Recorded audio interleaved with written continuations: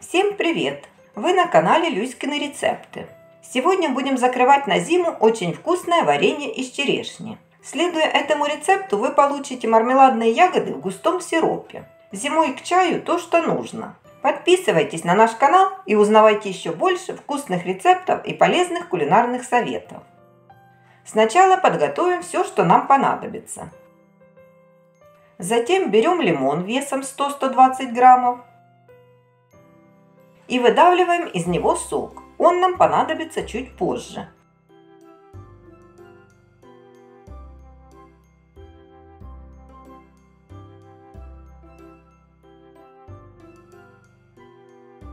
А пока займемся черешней. В широкую миску для варки ставим дуршлаг и удаляем из черешин косточки. Пять способов, как быстро удалить косточки из ягод подручными средствами, смотрите в подсказках. Ссылка также есть в описании под видео.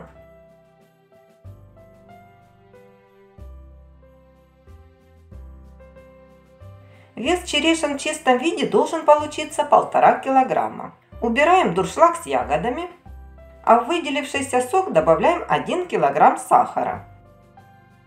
Хорошо перемешиваем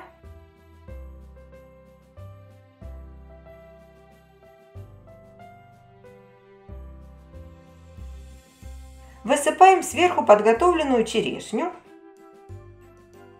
Поливаем ее выжатым лимонным соком. И отправляем на небольшой огонь. Аккуратно помешиваем содержимое миски снизу вверх силиконовой лопаткой.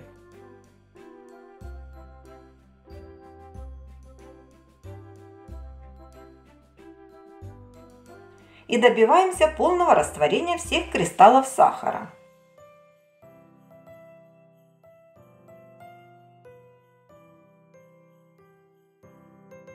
Прогреваем ягоды в сиропе до первых признаков закипания.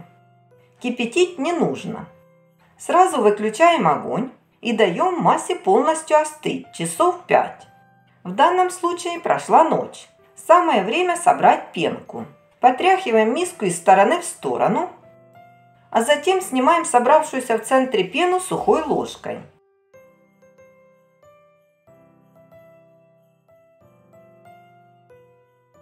Дальше отправляем черешню на плиту.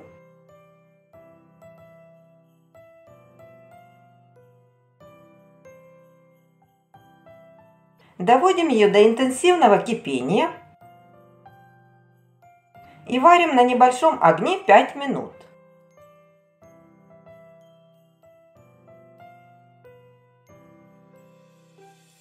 Потом огонь выключаем.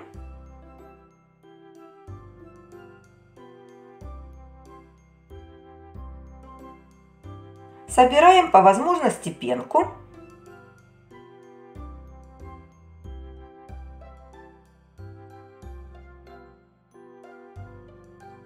И снова оставляем варенье остывать часов на 5. Спустя указанное время зачищаем содержимое миски от остатков пены.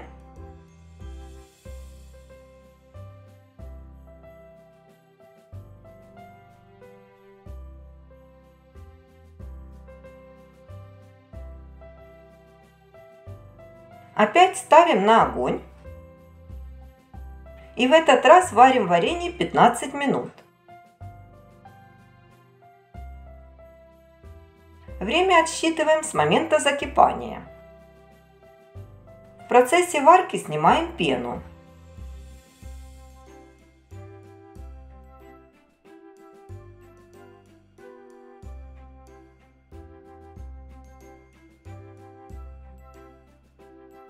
Через 15 минут огонь выключаем. Убираем полностью оставшуюся пенку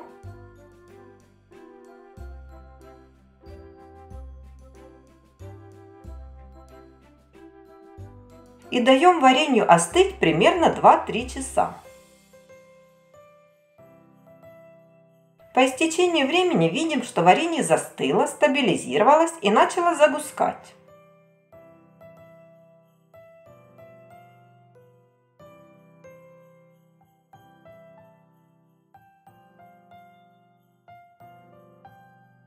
Можно разливать по банкам.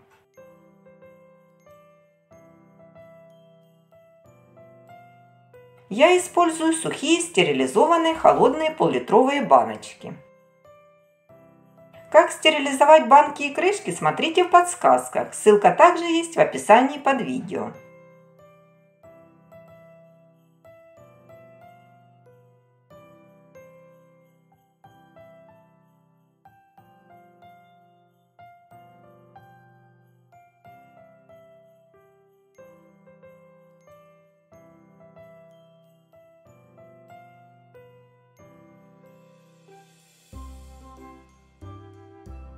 Наполненные доверху банки закручиваем простерилизованными сухими металлическими крышками и отправляем на хранение в кладовку или погреб.